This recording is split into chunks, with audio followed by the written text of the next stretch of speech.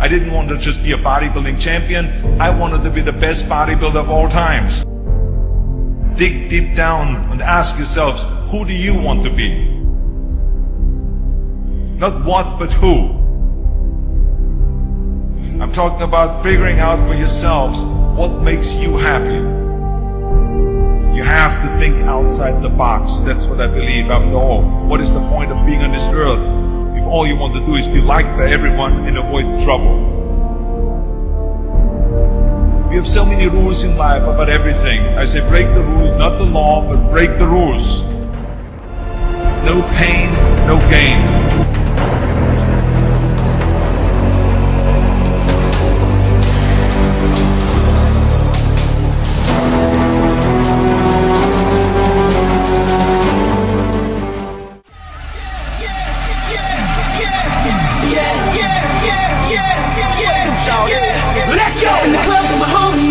Get a little VI, keep it down on the low key.